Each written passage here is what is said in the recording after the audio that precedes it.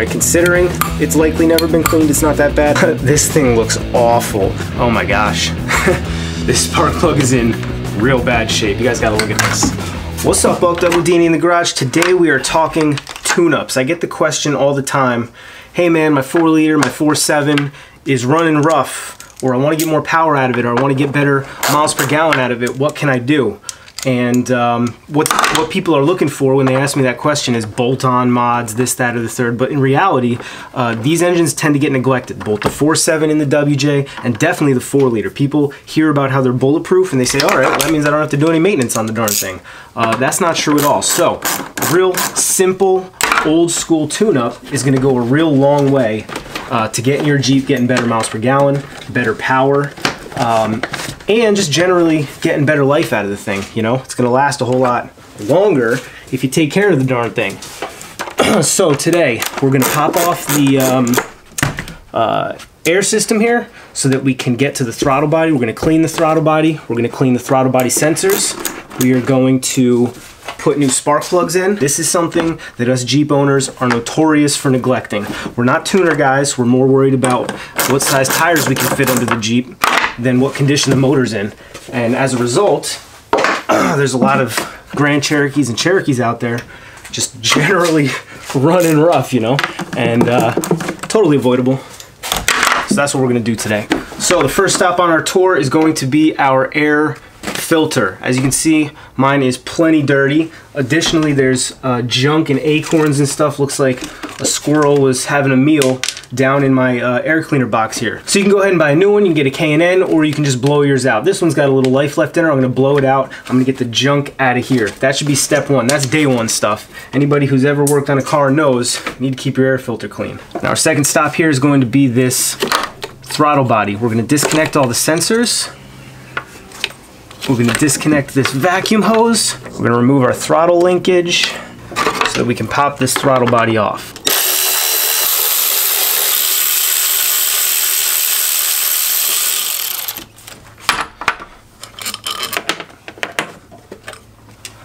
Now it's uh, always ill-advised to leave a gaping hole into your engine, so we're just going to put some rags in there to make sure we don't get any dust, debris, tools, spare part, parts, measy mice, anything else down up in the engine. Let's take this throttle body over to the bench, take a look at her. All right, now the first thing we're going to do is get this thing broken down a little bit more. We'll remove the idle air controller here.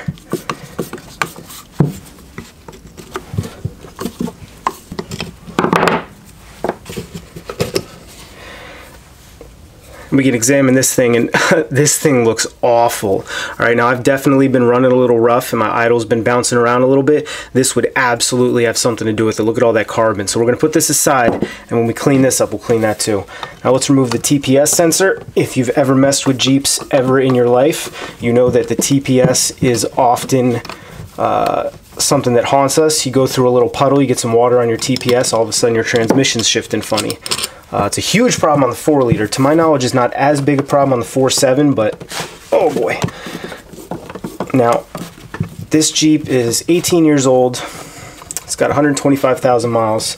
I can tell by how tight these screws are that no one's ever cleaned this throttle body. So this is 18 years worth of junk, 120,000 miles worth of junk.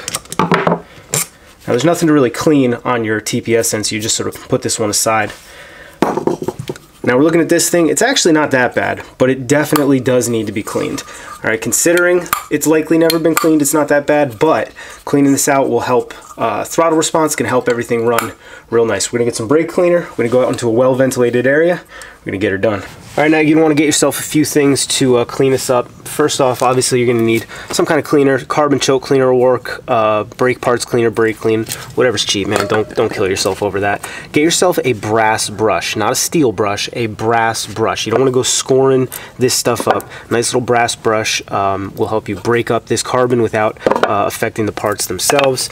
Whole pile of shop rags, some safety glasses. Some people like to use gloves. Uh, yeah, I agree. This stuff is pretty nasty on your hands, but uh, I don't wear gloves, so it is what it is. Safety glasses at the least, though. What we're gonna do is intermittently spray stuff down, scrub it up, wipe it down until you have um, your throttle body, butterfly valve, and um, idle air controller totally clean. Be careful of stuff like this. This is a rubber O-ring down here brake parts cleaner destroys rubber. We all know this. Be nice and careful, all right? Let's get to it.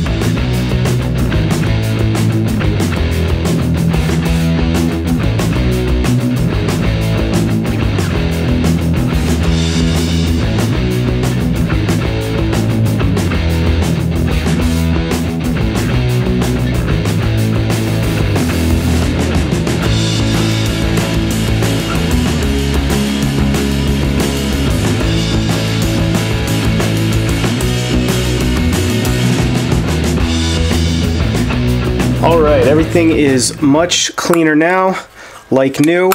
Uh, you will have noticed I did take the O-ring off the idle air controller so that I didn't get brake clean on it, and then I dropped it right in the brake clean, so whatever. Uncle Jerry at his finest. We're gonna put this throttle body back together, then we're gonna get it back on the Jeep, and then we're gonna do the spark plugs. This idle air controller has to go a certain way, so make sure you're putting it the right way. You can screw it on in either direction, but then the plug will be backwards. Now, this is obviously for a Jeep 4.7. This is going to be the same for your 4 liter, but it's really going to be the same for any engine, man. Just take your throttle body off. Every throttle body has some amount of sensors, whether it's got uh, throttle positioning sensors, idle air controllers, mass airflow sensors, uh, manifold, manifold actual pressure uh, sensors. Take them off. If they can be cleaned, clean them. Make sure they're in good shape. Now the same thing with this TPS. It has to go a certain way, I believe. Yep, we got it oriented right. Get these back together. All right, we can remove our rags from our intake. Take our fresh, clean throttle body. Oh, get it lined up here. Get some bolts. Now, I wouldn't snug them down with an impact like that. I was just running the threads in.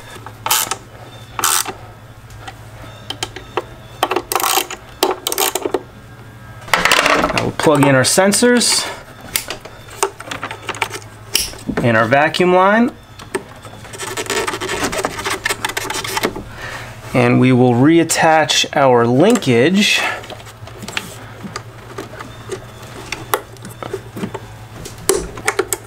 There we go. And there you go. Now you could stop there, but I wouldn't recommend it. What we're gonna do now is change all of the spark plugs one by one. So, grab our, what are these, 10 millimeter? Of course they are. All right, these are relatively straightforward. We're gonna disconnect our coil pack, break this guy loose.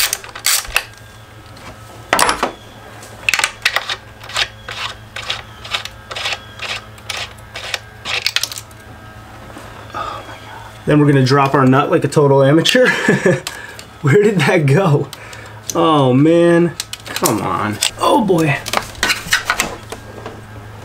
Wow, that thing disappeared. There it is. Got him. All right, we're gonna be more careful with that in the future.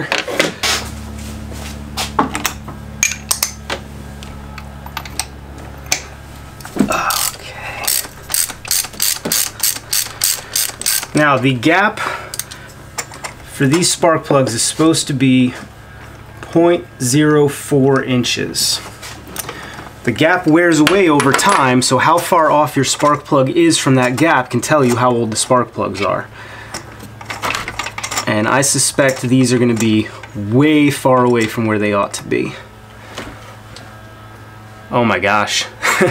this spark plug is in real bad shape. You guys got to look at this. All right, what we have here is the spark plug I just pulled out of that Jeep. this is possibly the worst spark plug I've ever seen.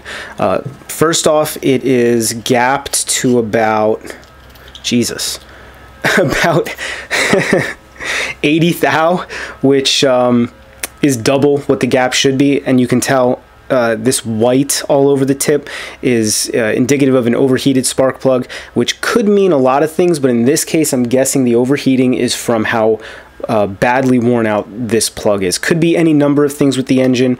Um, once we put the new plugs in, I might be able to tell if there's something else wrong with the motor causing the overheating. Um, but in this case, I think it's just these are crazy worn out. For all I know, these are like the original plugs champion. I mean, these are the OEM plugs. They were way out. I've owned this Jeep for about six months. I should have done these plugs a long time ago. Um, whenever you get new plugs, you're going to want to make sure you gap them. These are supposed to be right at 40 Uh, this one's just a little bit high. It's at about 45. I don't know if you can see that. So what we're going to do is take this and gently push it down just a little bit. Uh, I need to go a little more. You never want to bang on a plug. I know a lot of people that'll put this in a vise and just tap it with something.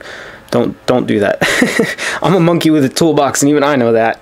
Uh, just work it until you get it right where it needs to be. Getting close. All right, now I went just a little bit too far. That's what this hole on the other side is for. So that we can pry it back just a little bit. Perfect. Right at 0.040 inches. You probably can't see that because of the glare, but take my word for it. I'm gonna go throw this in, then I'm gonna do eight more.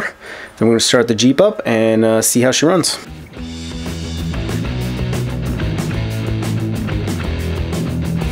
All right, just pulled another one out and it's just as bad, if not worse than the first one. So I'm relatively confident there's nothing wrong with any specific cylinder. There's nothing wrong with eh, the engine as a whole other than this is uh, epic levels of neglect.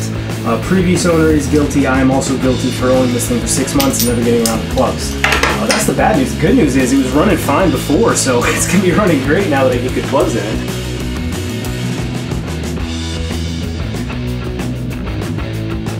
number three, and it just keeps getting better. um, it's actually comforting that they're all this bad. It means there's no one cylinder that's um, got anything wrong with it. The whole engine is just suffering from epic levels of neglect, as previously stated.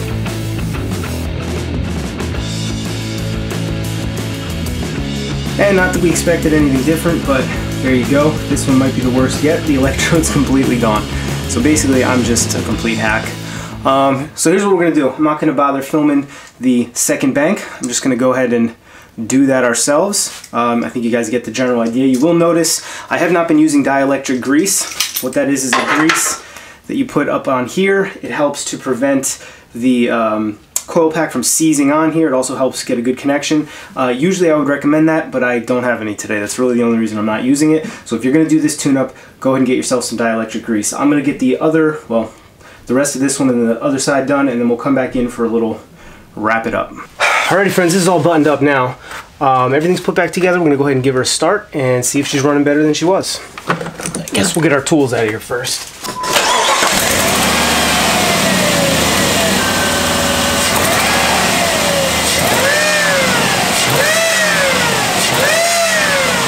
Alrighty, please excuse my uh, exhaust leak. That's next on the list. I can tell you definitely idling better. Uh, throttle response felt better just flicking the valve there. With the new plugs and cleaning out the throttle sensors there, I should be getting slightly better miles per gallon though. If you're trying to get good MPG out of a 20 year old American V8, you're a friggin' idiot. So I'm not worried about miles per gallon, but logically it should be there. So uh, this is what I'm gonna call Grandpa's tune-up just your old school, real simple tune-up that I think a lot of people neglect these days. Uh, they want a simple answer. They want some kind of bolt-on mod. They want some kind of computer reflash this solution. And at the end of the day, sometimes you just need to get your hands dirty and clean up some things uh, in your engine there. Throttle body makes a huge difference, especially on these Jeeps, especially if you have the 4 liter, uh, but on all other engines too, man. So if you got any questions, by all means, let me comment down there in the squawk box. Let us know what you think. If you like the video, by all means, like the video, subscribe to the channel. Uh, consider checking us out on Patreon, Etsy, and Teespring. As always, thanks for watching. See you next time.